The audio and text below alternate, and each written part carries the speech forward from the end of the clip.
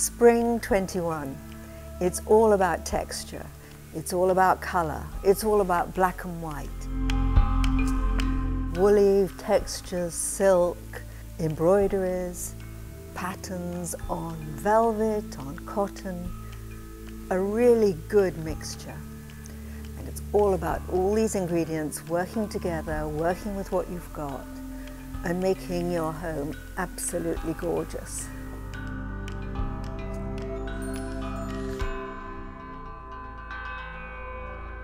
The collection is quite mixed.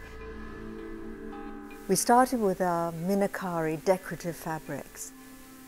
Minakari comes from beautiful Indian enamelware, these sort of wonderful lustrous colours, whether it's on the saris or on the enamel or on the jewellery.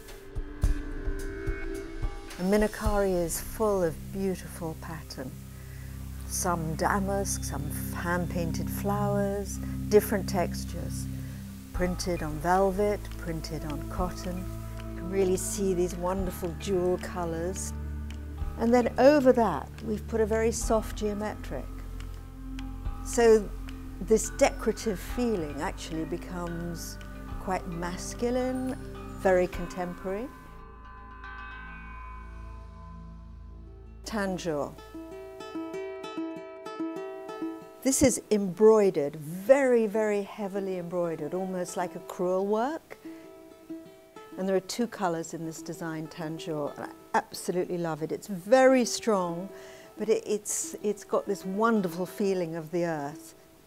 And these are more earth tones, which of course are just brilliant with all our earth tones paint. Then we have Montserrat lustrous velvets, complex patterns, épinglé, beautiful geometrics, really, really easy to use, but at the same time this beautiful quality that gives them a real depth of character.